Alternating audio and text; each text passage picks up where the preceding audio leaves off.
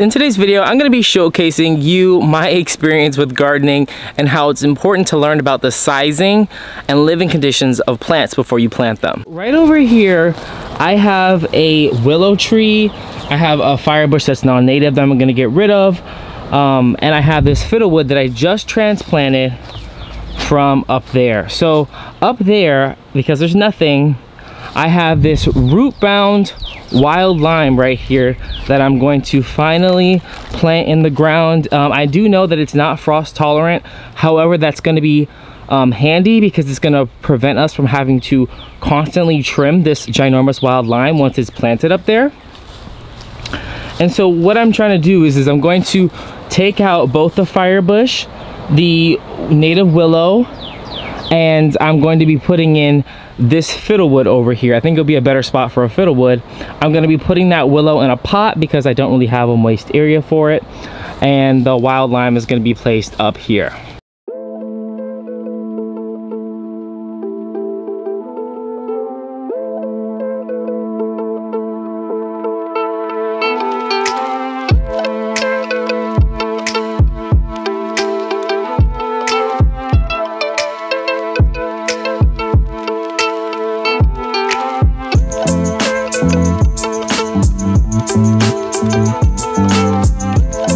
Now that we have the fiddlewood there, all I have to do is pot up that um, stuff. I'm gonna definitely do a crazy chop on this because I want it to be more upward and less of a bush. So I'm gonna kind of chop this a little bit upward so it has kind of a canopy.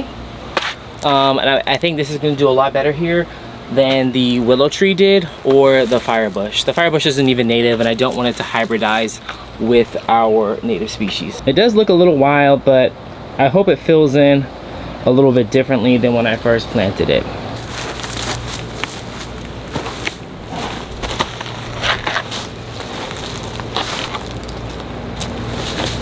Whew, okay, all right guys, so I finally have my wild lime basically placed in the right area of how I want it to kind of grow and clash with everything else. Um, the reason why I'm planting this plant here is because this area during the frost area or where it freezes, it basically cuts back my bougainvillea down every year. So it's gonna do the same thing for the wild lime. Wild limes can handle um, frost. They will actually grow back, um, even though they're more of a South Florida plant. Um, but I love this plant because not only does it, you know, add privacy screening, um, it has the thorns that, you know, the birds know and love and nest in. It has, you know, the non-edible little lime fruit on it for the birds as well. But it is a host plant to the giant swallowtail. And this plant produces a ton of new growth. So um, when you plant this in your yard, you'll definitely see giant swallowtails using it constantly, especially during the growing seasons and the growing times of the month, unlike other host plants that the giant swallowtails use. There are a couple of plants that are up here that I'm gonna have to transplant. But the plant is pretty much mocked up to where I kind of want it.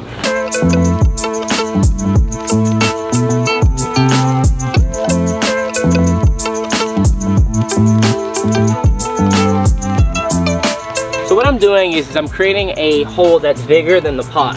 So that way you have a hole that you can refill the dirt in properly to prevent air touching the roots and harming your plant.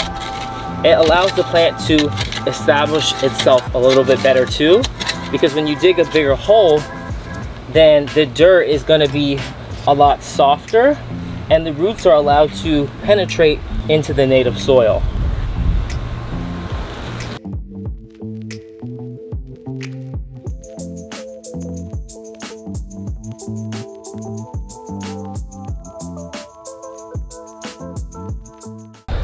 I am finally finished with planting this ginormous wild lime here.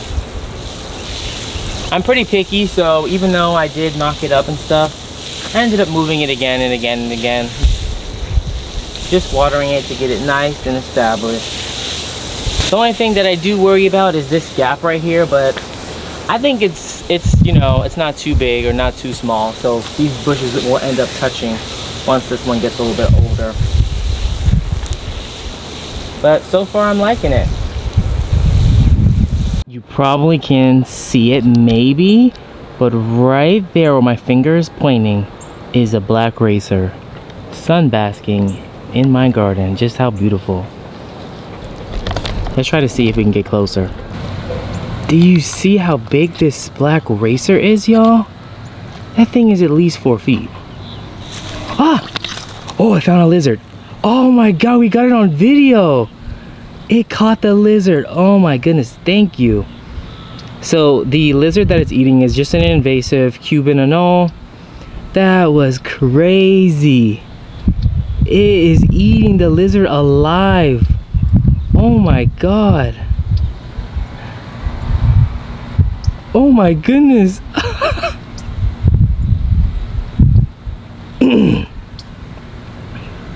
He just swallowed that lizard alive. Oh my goodness. And he's looking at me like, yeah, you saw that? Oh my god. No wonder that thing is a beauty. Okay, now it's staring at the mouth, the the mic. Uh-uh. Okay, we'll leave you alone. It's looking at us like leave us alone. red Admiral. There's a red Admiral, finally. Oh my god. Oh my god, we are seeing all this wildlife. This is what happens when you plant native plants.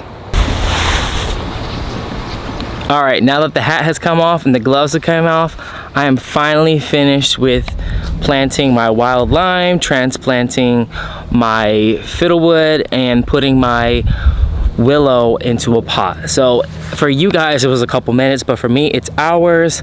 And I'm just gonna give you guys one more check around real quick.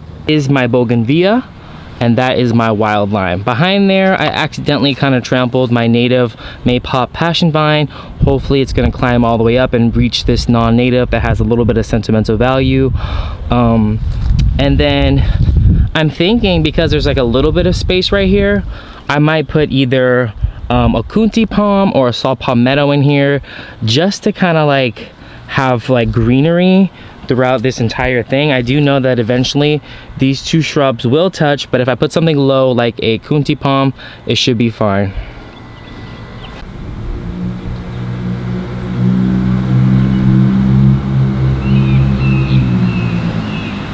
So over here is where I put the fiddlewood. I transplanted the tropical sages that were already here and put them over here instead.